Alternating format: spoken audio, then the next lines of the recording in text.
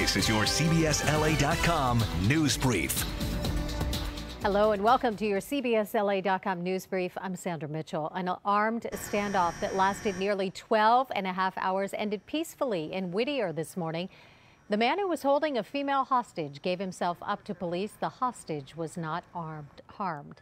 Another standoff, this one in San Bernardino, ended just before midnight. It started after sheriff's deputies questioned a man in a criminal investigation at a Fontana shopping center, and that's when he jumped in his car. He raced away. The chase ended in front of the man's house. He abandoned his red car and ran inside. Shocking allegations against a Sylmar couple. They're accused of keeping an 11 year old girl as a slave. Investigators say the girl was smuggled from El Salvador and held at this apartment since she was nine years old. The couples pleaded not guilty to one count of slavery and one count of human trafficking.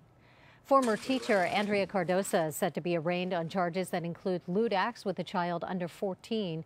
Prosecutors allege that Cardosa convinced a 13 year old girl to lie to police nearly 15 years ago about their sexual relationship. If she's convicted, Cardosa could face up to life in prison. For the latest on these stories in your news any time of day, stay with CBSLA.com. Now here's meteorologist Amber Lee to check the weather. Amber.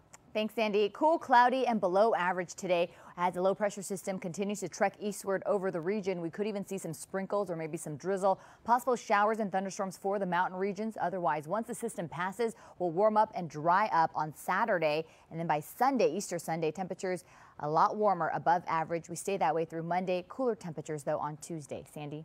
Amber, thanks. That's your CBSLA.com news brief. Remember, we're always on. Click listen live on our webpage to hear KNX News Radio and our other stations live anywhere you are.